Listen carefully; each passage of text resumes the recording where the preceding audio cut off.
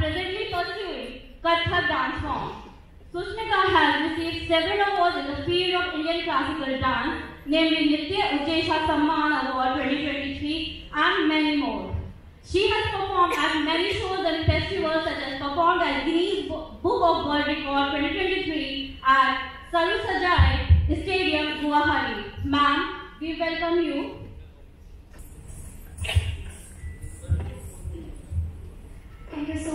Everyone for giving me this wonderful opportunity and inviting me on this uh, 17th conference of series SPS and Agro 2023.